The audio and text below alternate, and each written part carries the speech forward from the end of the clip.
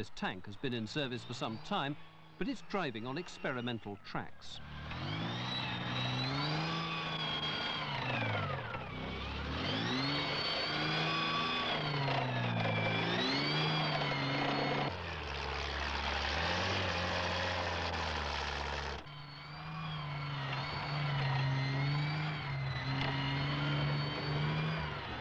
The requirement for these tracks is to survive being driven hard over one of the toughest courses in the world.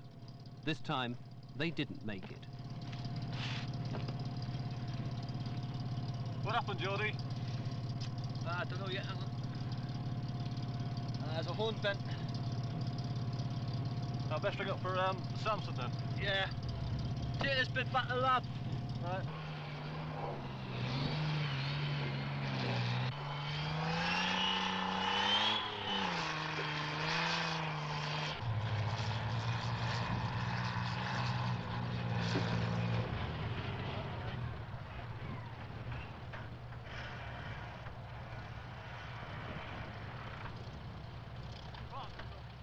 And so, once it's been rescued, back to the lab it'll go.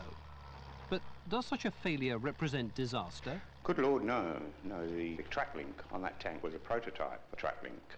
And obviously this doesn't go onto the normal tanks until it's gone through a whole series of tests uh, to ensure that it is satisfactory for that particular type of tank.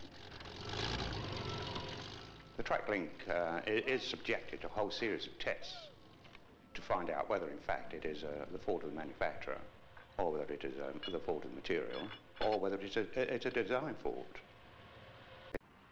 Although most quality assurance work is done on a visiting basis, some defence contractors are big enough to justify having a QAD representative permanently on site. When that happens, a different relationship develops. Well, Ken, I've asked you along here to see this is about the 100th vehicle we have uh, now tested in this tank. And uh, to save a lot of time and manpower, I was going to ask if you would consider a relaxation in the specification to allow us to, to float only about one in five vehicles. How many vehicles did you say? A 100? Well over a 100 by now. Must be by now, mustn't it? Yes. Actually, when I get the request, I will almost certainly grant the relaxation because the production over the last 12 months has been consistently within the specification requirements.